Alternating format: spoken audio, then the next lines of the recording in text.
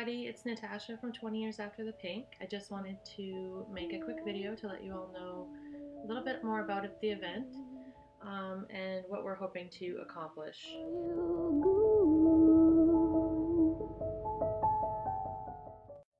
The Juried Art Show is going to be a gallery where we can showcase people's artwork.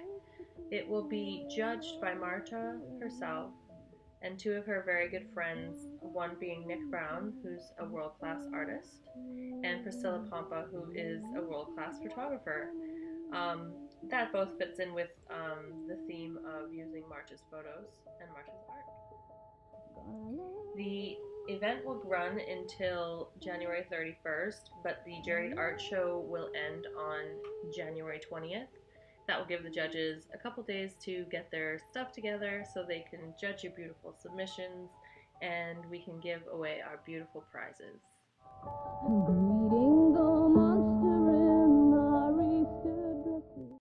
You can enter the 20 Years After the Pink Juried Art Show by submitting a piece of art to our website, which is afterthepink.tumblr.com slash contest.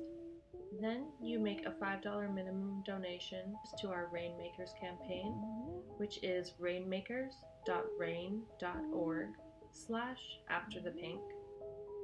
You submit these to our website, then we will take care of the rest.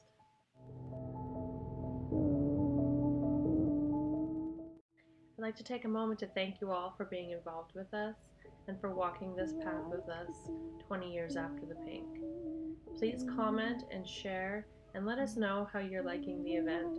Any comments or concerns that you may have. We would love to hear from you. Thank you so much. Have a great day.